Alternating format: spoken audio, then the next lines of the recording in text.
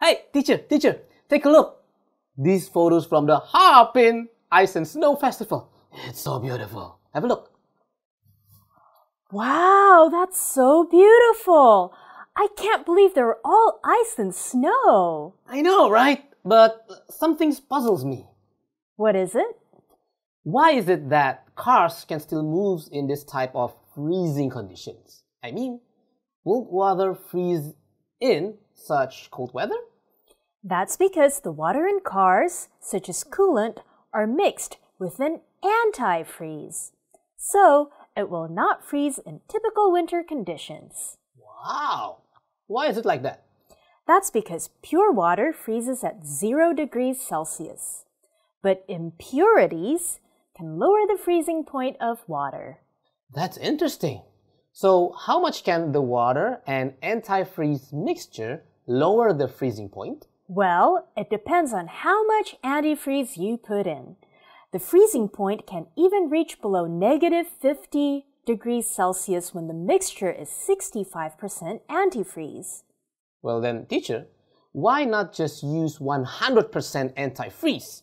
I bet the freezing point would be lower to maybe negative 80 degrees Celsius. Aha! That is a common misconception. Actually, pure antifreeze freezes at negative 13 degrees Celsius. What? That is so weird. How can 100% pure antifreeze freeze at minus 13 degrees Celsius, but diluted antifreeze freeze at below minus 50?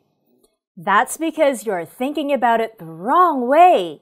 The antifreeze mixture that freezes at below negative 50 degrees Celsius is impure with impurities from the coolant.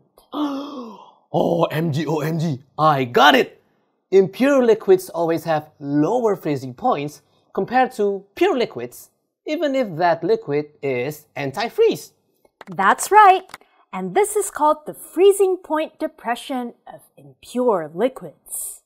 Okay, then, teacher, what about the boiling point of impure liquids as compared to pure liquids? Hmm, what do you think?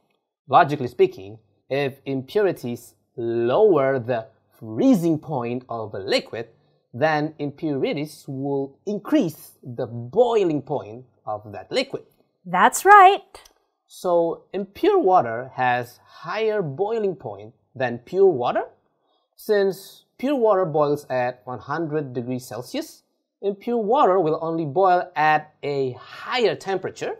That's correct. Impure liquids always have higher boiling points compared to pure liquids. It is called the boiling point elevation of impure liquids. Mm, got it.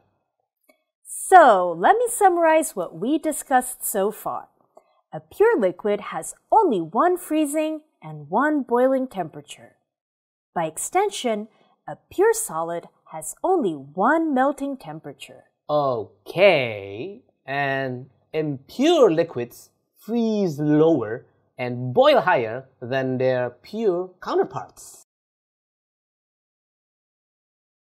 That's right. Now let's try a simple question. Sure.